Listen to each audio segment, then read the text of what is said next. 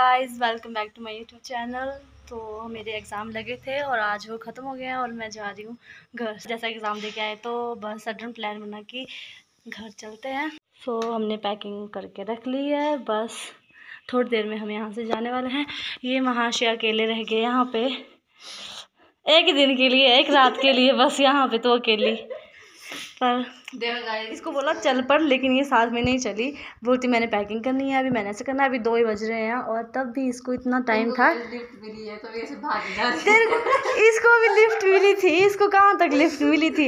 इसको थोड़ा सा रास्ता था आगे चलने के लिए। वैसे भी इसके घर यहाँ से नज़दीक है हमारे काफ़ी दूर है।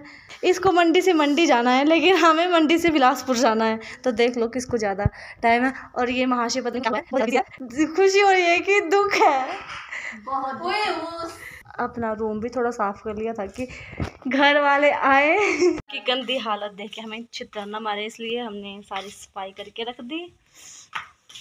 अब क्या करें अब चलते हैं थोड़ी देर वेट करते हैं। उसके बाद हम भी चले जाएँगे उसके बाद हम अपनी यूनिवर्सिटी का की शक्ल एक महीने बाद देखेंगे।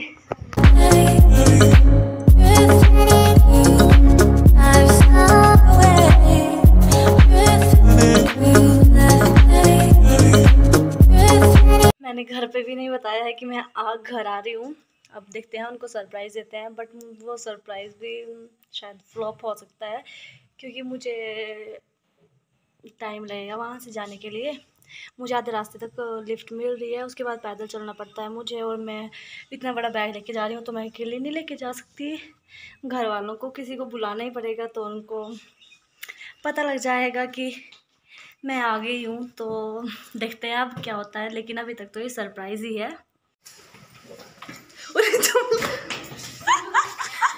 बाय बाय जैसे ही हमने चैनल चौक क्रॉस करा तो नीचे और रास्ते का काम चला हुआ था, जिसकी वजह से हमें 20-25 मिनट ट्रैफ़िक में घूमना पड़ा। उसके बाद जैसे ट्रैफ़िक क्लियर हुआ तो हम चल पड़े।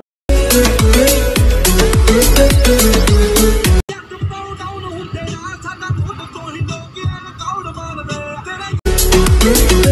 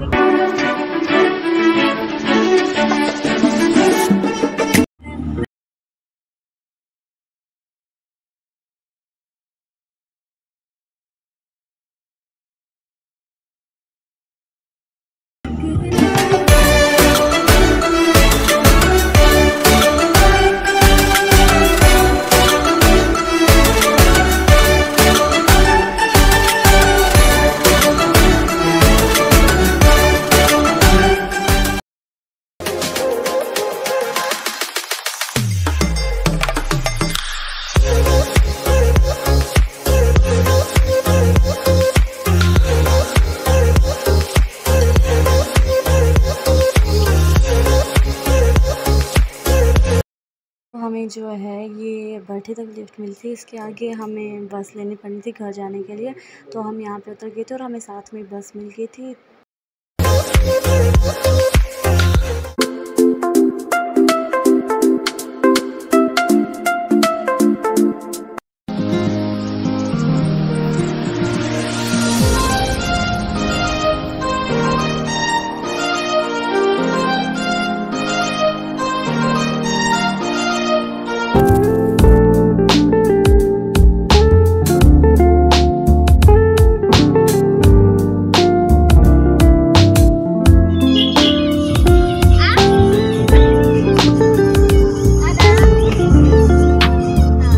मुझे पहले पता होता कि मेरी किस्मत इतनी अच्छी है तो मैं अपने भाई को नहीं बुलाती मुझे लेने के लिए, क्योंकि मुझे ऑलरेडी लिफ्ट मिल गई थी और वो मुझे आते जैसे रास्ते में मिला था और ऊपर से प्लान भी फ्लॉप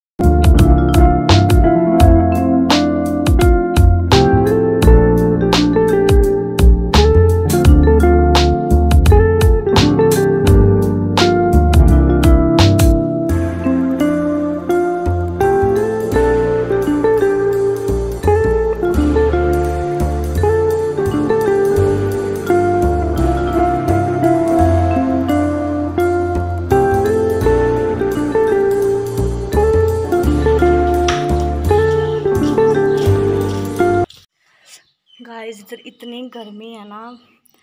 क्या होता बताऊँ, आके मैंने सबसे पहले तो मुँह धोया, पर मैं सरप्राइज़ देने आई थी घर वालों को, लेकिन यहाँ पे कोई है ही नहीं। सभी खेत में घुसे हुए हैं। वो तो मैं अपने भाई को बता दिया था तो वो मुझे लेने आ गया, लेकिन वो थोड़ा लेट हो गया तो मुझे घर तक गाड़ी मिल गई थी। इतनी गर्मी है ना।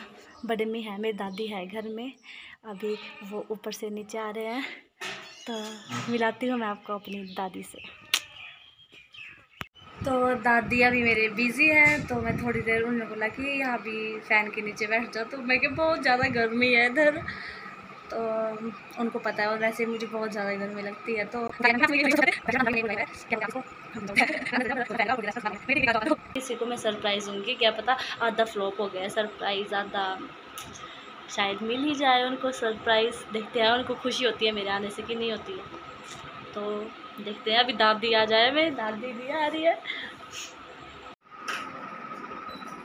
ये आगे मेरी दादी। हेलो गाइस हाँ पता मैं किस दस रुपए वहाँ आई दी अच्छा। अब मैं उनको सरप्राइज़ देने जा रही हूँ। अब आप उनका रिएक्शन देखना।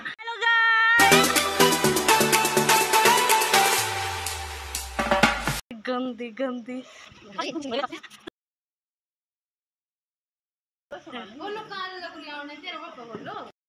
मैंने ताऊ जी को कॉल करी थी कि आप कहाँ हो? वो खेत में थे तो उनको तो मैं बुला नहीं सकती थी। फिर उन्होंने पूछा कि हाँ तू कब आ रही है?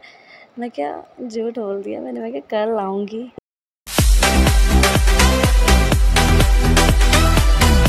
सो so गाइज़ मैंने अपना कल का व्लॉग वहीं पे ख़त्म कर दिया था क्योंकि उसके बाद मैं धाम खाने के लिए चली गई थी और थोड़ी लेट हो गई थी वापस आने में तो मैंने वो व्लॉग आगे बनाया ही नहीं। और मैं क्या क्या सरप्राइज़ देना घर वालों को सभी को पता लग गया था, मम्मी और ताई आए थे।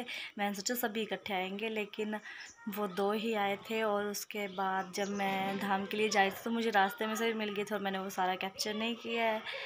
तो बट सरप्राइज़ तो थे सभी। मैं अप्रोक्स थ्री मंथ्स बाद घर आई हूँ। पहले मैं आई थी, दो मंथ बाद आई थी मैं घर, तब पापा आए थे घर।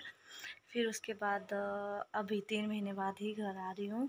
मेरे भाई ने पहले ही मम्मी को बता दिया था कि मैं आ रही हूँ और मुझे लगा था वो मेरे साथ मैंने सोचा कि उसने नहीं बताया मम्मी को कि हाँ मैं उसको लेने जा रहा हूँ और वो आ रही है। लेकिन उसने तो पहले प्लान फ्लॉप कर दिया था, लेकिन तभी खुशी तो होती है। तो गाइज़ अगर आपको मेरा ये ब्लॉग अच्छा लगा हो तो please like comment share subscribe करना ना भूलें। और आपको ये मेरा ब्लॉग कैसा लगा प्लीज़ कमेंट में ज़रूर बताएँ। Thank you bye bye